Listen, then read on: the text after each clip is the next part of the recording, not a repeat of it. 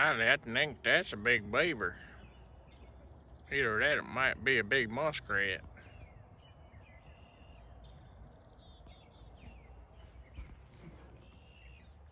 Ollie, you're looking the wrong way.